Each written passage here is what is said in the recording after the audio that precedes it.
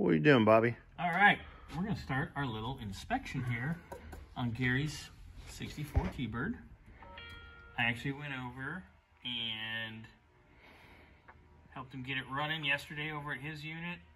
Get it going. We put some air in the tires, which he's gonna need tires. He's already said, "Hey, quote me out on tires," so that's gonna be on there for sure. Because these are over 10 years old.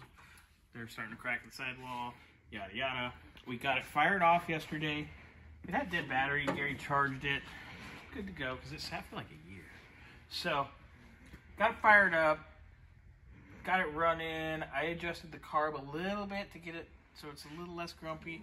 It was a little smoky down by where the exhaust ports are on the heads.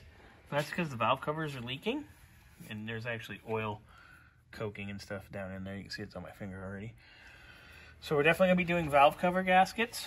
Um, the hoses, even though they have stickers and are new, and we'll call Tyler back in a minute, even though they have stickers and they look new, they're actually starting to leak.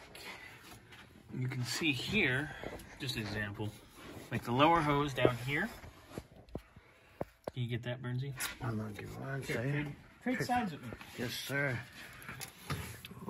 See that? You can see the crusties on it. the crusties they're leaking.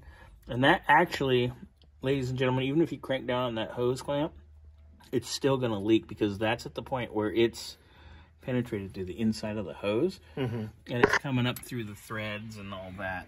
So we got a leak there. This water pump has a broken tab. Somebody went nuts when they put the bracket on for the power steering pump and broke that off. So seeing we have a leak back here. You can actually see the at the bypass hose. We'll have to replace that anyway. It's going to be the same amount of time and labor just to put a new pump in too. That's not cracked there. And you can see here where this hose is leaking as well. Look at that. You see that one? Oh yeah, that's all crusty. Yeah, that's nasty. So we got all that nasty, nasty. So basically, we're going to reseal the cooling system. I am going to pressure test it here a little later. Um, the little rubber hose here on this transcooler line, because somebody, oh no, that they're actually beaded. Never mind. But that is crusty. We'll get in there and replace that. Your belts are good. They're nice. They're Dayco top cogs, which is what I recommend for all of this stuff. Um, but that's in the engine bay. That's our first little once over. So basically, we'll, pressure test the cooling system here in a little bit. But next, let's go up and kind of look around underneath. So you ready to go up? Yes, sir. All right.